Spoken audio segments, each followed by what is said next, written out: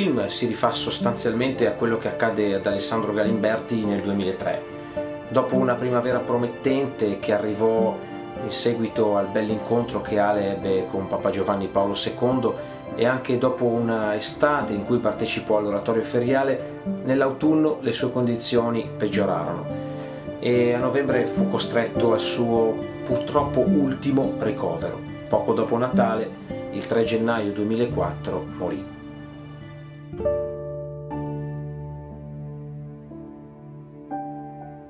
Personaggio di Francesco è Alessandro, Molte cose che vediamo nel film ritraggono la realtà. Innanzitutto la personalità di Alessandro, la sua fede forte e vigorosa, il suo desiderio struggente di diventare prete, celebrare l'Eucaristia, lo sfrenato innamoramento per l'oratorio, i suoi ragazzi, la sua sofferenza, quella fisica ma anche quella umana, il suo sorriso, le sue battute di spirito. Gli stessi cinque personaggi sono stati appositamente creati per far emergere uno di questi aspetti, di questi carismi di Alessandro. Così, attraverso Susanna, possiamo soffermarci sulla passione educativa di Alessandro. Lorenzo rappresenta invece la persona di tutti i giorni che da un semplice incontro con Alessandro poteva trarne beneficio per la sua vita, poteva apprezzarne il suo stile allegro e scanzonato. Barbara ed Andrea invece sono gli strumenti per rendere visibile la grande fede di Alessandro e il suo desiderio di diventare sacerdote. Era un pomeriggio, se non mi sbaglio, eh, sia Alessandro sia Davide erano a Milano, mm, erano andati al seminario di, di, di Corso Venezia per un incontro. E mi ricordo benissimo che siamo partiti da lì per andare a Robecco da, da tuo fratello e mm, così proprio sulla strada Davide che aveva fatto la quarta e quinta ginnasio allo Zucchi, ci dice papà e mamma l'anno prossimo voglio entrare in seminario. Noi non abbiamo commentato niente, al che Ale eh, col suo stile, col suo modo di fare si è accodato dicendo e anch'io voglio andare al corso P. La mia brava moglie, che non ha capito cos'era il corso P, perché mi guarda e mi dice ma cos'è il corso P? Ti ricordi quando abbiamo detto a papà e mamma che andavamo in seminario? Che il papà per poco non usciva di strada con la macchina. E tu eri tutto serio, come al solito del resto. E tu? Io invece faccio il corso P. Io che di seminario un po', diciamo, me ne intendo perché essendo stato in mai tempi passati in seminario sapevo benissimo cos'era il corso P, che è un corso propedeutico. Ah, ma non sapeva cosa fosse, si agitava. P, P sta per eh, propedeutico, mamma. Praticamente anche lui ci ha detto che voleva entrare in seminario. Silenzio, gelo, e poi gli abbiamo detto soltanto se questo è quello che volete fatelo, però non sarà facile. Ecco. Lo stesso titolo del film, scelto da me e da Davide Galimberti, si ispira ad una preghiera che Alessandro scrisse per la sua regola di vita. Sulla complessità eh, e la difficoltà del ruolo che avevo subito intuito eh, non mi sbagliavo anche perché molte delle battute del mio personaggio eh, sono tratte direttamente, ricavate direttamente dagli scritti di Alessandro. Alcune situazioni che presentiamo nel film sono molto simili se non uguali alle realtà, come appunto la malattia di Francesco, il suo aggravarsi nell'autunno. Ricordo soprattutto eh, gli ultimi giorni della sua vita quando andammo a trovarlo eh, in ospedale e nonostante appunto la situazione per lui fosse disperata e tutti quanti eravamo preoccupati e rattristati dal, dal luogo in cui ci trovavamo e dalla, dalla situazione appunto, era comunque lui che tirava su a noi il, il morale con le sue battute e con la, la sua gioia. Io bene, voi invece vi vedo un po' sciupati. Secondo me avresti bisogno di una bella trasfusione. Altre traggono invece spunto eh, dalla realtà, ma poi si evolvono in maniera completamente nuova. Per esempio l'amore che Alessandro aveva per la montagna, che ci ha portato a realizzare tutto il filone del rifugio di Lorenzo. Ho cercato di fare mio il personaggio, di interpretarlo eh, a, a, modo mio, eh, tenendo ben eh, in mente eh, le belle figure di seminaristi e di preti che conosco e che vivono pienamente quella che è la loro vocazione, eh, in mezzo alla gente. Altri episodi invece sono chiaramente eh, frutto della nostra fantasia, come il giardino di Francesco e quella pianta che fa un po' da leitmotiv a tutto il film. Anche se mh, forse perfino in questo caso abbiamo voluto mettere un accenno di realtà, poiché in effetti c'era una pianta con la quale Alessandro parlava, sotto la quale pregava, si trovava nel cortile dell'oratorio di Lissone e poi era il cortile di suo zio, che era il prete dell'oratorio.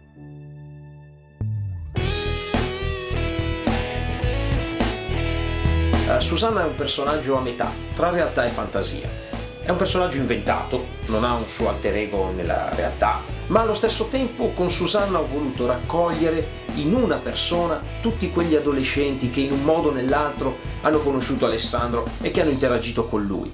Ad alcuni di loro Ale fece leggere le sue poesie, ad altri eh, fu vicino, altri ancora trovarono in lui una guida spirituale. Alessandro lo conoscevo molto bene, eravamo amici sin da bambini ai tempi dell'oratorio e quello che mi ricordo di lui era soprattutto la sua solarità e il suo aver sempre il sorriso sulle labbra anche nei momenti più difficili e più tristi. Lui era un ragazzo molto forte ma anche molto fragile allo stesso tempo e io avevo 15 anni, ero più che una ragazzina, ero ancora una bambina che non conosceva il mondo e lui mi ha insegnato davvero tante cose. Io lo tormentavo perché lo seguivo praticamente dappertutto e ogni volta che lo vedevo durante la giornata in oratorio con i bambini avevo il vizio di chiedergli Ale ma mi vuoi bene? E lui mi rispondeva sì, però ricordati che dopo la terza volta c'è la penitenza. Mi ha colpito molto di lui il fatto che riusciva ad ascoltarti e si vedeva che gli interessava ascoltare quello che avevi da dire, i tuoi problemi. Di Alessandro ricordo gli scritti che uh, mi ha lasciato qualche volta perché quando andavamo a trovarlo in seminario lasciava qualche sua poesia anche a noi giovani che andavamo a trovarlo e quindi attraverso i suoi scritti capivamo e riconoscevamo in Alessandro davvero la volontà di esserci sempre vicini. Lui era diverso dagli altri seminaristi, lui aveva sempre una parola gentile per tutti. E mi ricordo un episodio dell'oratorio estivo in cui non potevo andare in gita perché avevo le stampelle e lui è venuto a prendermi e siamo stati il pomeriggio in oratorio a preparare i giochi per il giorno successivo. Lui nonostante avesse la mascherina, eh, io è come se non me ne fossi accorta. E io con la stampella e lui con la mascherina è stato un bel pomeriggio. Ricordo che lo facevo disperare per la mia vivacità, ma aveva una grande pazienza e sapeva sempre come prendermi. Con Susanna volevo anche far vedere come i giovanissimi siano spesso pronti a svendere i loro valori solo per omologarsi, per essere uguali agli altri. Però anche in questo caso Alessandro mi ha dato una mano. Tra i suoi scritti ho trovato una lettera che egli compose ma che non inviò mai. Nell'ultima fase della sua degenza in ospedale, eh, l'ultimo mese praticamente, eh, ricevette per errore un sms da una ragazzina, una ragazzina che ovviamente non conosceva. Da quello che c'era scritto però Alessandro intuì che la giovane aveva qualche problema a livello di crescita emotiva, diciamo, e colse l'occasione per iniziare un breve scambio di messaggi con questa sconosciuta e cercare di pur in un contesto così casuale e precario, annunciare la buona novella. Poi scrisse una lettera a questa ragazza, che ovviamente non poté mai spedire, anche perché della ragazzina conosceva soltanto il nome.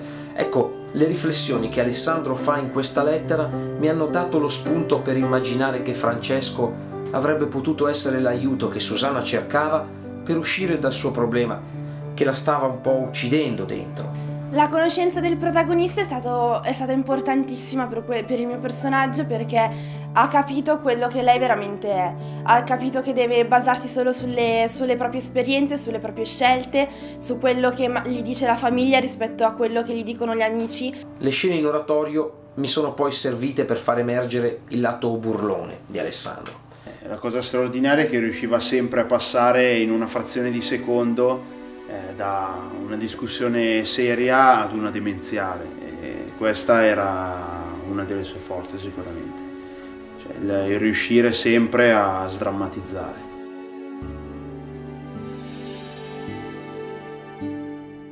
Parlando come scrittore, come sceneggiatore, il personaggio di Barbara è quello che mi piace maggiormente, perché nel caso di Barbara è tutto, quasi tutto, frutto della mia fantasia.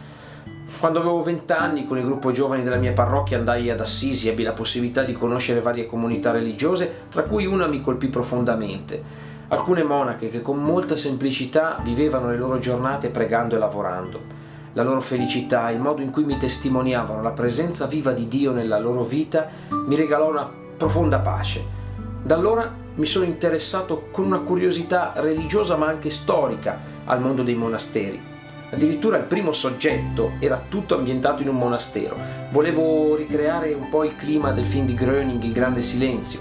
Poi per me era molto importante mandare un messaggio controcorrente, cioè una ragazza normale, intelligente, di bella presenza, che potrebbe fare qualsiasi scelta nella vita, decide invece di rinchiudersi in un monastero c'è un po' il pregiudizio, no? che chi va in monastero sia un asociale, un poverino, uno fuori dal tempo, quasi un pazzo a volte si pensa, o semplicemente uno che vuole fuggire dal mondo. Ecco, per me non è così. Volevo raccontare la storia di una giovane che ha messo Dio al centro della sua vita, in modo radicale. È altruista, è, è spontanea, semplice, si fa un sacco di complessi, diciamo, poi tende sempre a darsi la colpa per qualsiasi cosa, in questo mi assomiglia abbastanza, però poi è anche una persona molto introversa, molto timida, molto riflessiva, pacata e in questo assolutamente è al contrario di me. È chiaro che quando decidemmo di cambiare soggetto e fare una storia d'incastro, non volli rinunciare a questo personaggio e a questa testimonianza.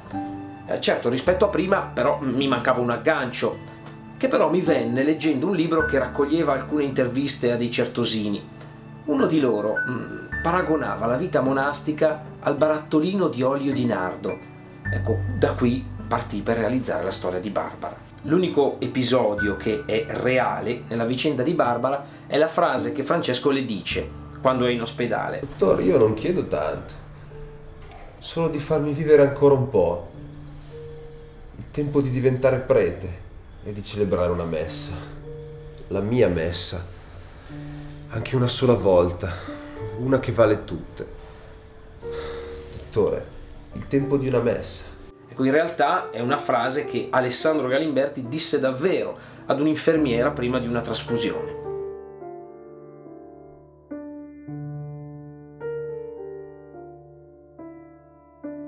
Uno degli aspetti che mi affascinava di più della vicenda di Alessandro era raccontare questa esperienza di due fratelli che entrambi scelgono di diventare preti.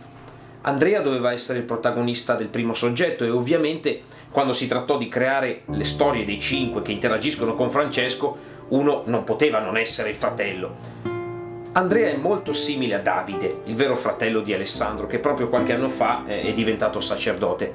Addirittura in alcuni passaggi lo stesso Davide ha riscritto le battute di Andrea per renderle più simili a ciò che in una certa situazione avrebbe detto lui. Le vicende del seminario sono poi beh, tutte inventate, certo, ma i loro dialoghi, i dialoghi di Francesco e di Andrea, si rifanno a scene di vita vissuta, in particolare i loro incontri in ospedale. La personalità e i caratteri diversi di Alessandro e Davide, per quel poco che possiamo dire, si riflettono anche nel modo di vivere la fede. Alessandro più istintivo, secondo me Alessandro si, si fidava, si, si affidava a Dio, cioè mentre Davide eh, si interrogava, eh, confrontava sempre la sua fede con, con, con, la parola di Dio, con la Bibbia. Eh, direi che tra me e mio fratello eh, non ci sono delle analogie, eh, siamo veramente diversi. Direi che l'unica cosa che ci accomuna è la fede, anche se questo cammino è vissuto comunque in maniera diversa. Legate alla figura di Andrea ci sono anche due scene che all'inizio non erano presenti, ma che poi ho aggiunto. La chiacchierata tra i seminaristi che parlano di calcio, ecco fu Davide che me la suggerì dicendo che nella sceneggiatura forse mancava un accenno al divertimento, alle amicizie che avevano vissuto in seminario. Come ebbe a dire una volta Davide, gli anni che aveva trascorso in seminario per lui erano stati bellissimi. E anche per Alessandro è stato così. E quindi l'aggiunta di questa scena eh, però è anche vero che Alessandro aveva incontrato delle difficoltà, il suo voler nascondere la malattia aveva provocato qualche incomprensione con alcuni compagni e anche forse con qualche superiore del seminario. E questa è la seconda scena che ho voluto aggiungere, che insieme all'altra rende un po' quelle che per Francesco e quindi per Alessandro furono le gioie e i dolori del seminario. Anche Lorenzo è un personaggio inventato. Una persona molto precisa, metodica, puntigliosa, sempre indafarato nel lavoro e, ed è talmente proprio ingegnere che ha deciso e progettato il suo futuro. Eh, si vede già sposato, con eh, una famiglia, con dei bambini e la sua eh, prerogativa è quella di scegliere il futuro per se stesso e anche per la sua fidanzata. Nella storia di Lorenzo ci sono tre cose che si rifanno alla realtà. Prima di tutto il suo incontro con Francesco. Mi ricordo che uscii dalla, dall'ufficio e mi incontrai in questa, in questa via piccolissima, un vicolo, quindi non potevamo non incrociarci, Alessandro. Eh, era un periodo per me particolare perché ero appena stato lasciato dopo una storia con, con una ragazza appunto e, e, avevo sofferto parecchio. Io sapevo di, di Alessandro, della sua malattia, anche se non ero poi così in confidenza con lui e quindi non sapevo realmente la gravità e la situazione in cui lui viveva in questo periodo, anche perché sapevo tramite Filippo che entrava e usciva dall'ospedale Giustamente per servatezza Filippo non mi ha mai detto eh, cosa andava a fare, il motivo eh, vero per cui andava. E quindi eh, da parte mia ero un po' titubante nel chiedere, come sempre quando ci si incontra, ciao come stai? Perché sembrava quasi una domanda, eh, una domanda preconfezionata. Fu lui a rompere il ghiaccio dicendomi guarda Dario ho saputo di cosa ti è successo, è un periodo secondo me, secondo me per te sarà sicuramente duro, diciamo così, mi aveva detto, era riuscito a capire in un attimo, pur non conoscendosi bene, eh, quello che stavo passando e con un sorriso mi disse guarda non preoccuparti perché queste cose passano e, e, e guariscono. E io non, non, seppi più dire nulla, lo, lo salutai e, e gli dissi ci rivediamo prossimamente e questo fu l'incontro che, che, mi fece un po' capire quanto quello che stavo passando io in realtà in confronto a, alla sofferenza che, che c'era nel mondo, che poi il mondo in quel momento era Alessandro, eh, era in realtà una cosa tra virgolette banale. Mi aiutò a, a superare questo periodo, anche se poi con Alessandro ci, ci si vedeva sempre, sempre di meno. In secondo luogo, la sua missionarietà, che per me, per la GPG, è un valore imprescindibile. In terzo luogo, l'amore che egli ha per la montagna, una passione che sia io che Dario che mio padre abbiamo e ovviamente anche lo stesso Alessandro aveva.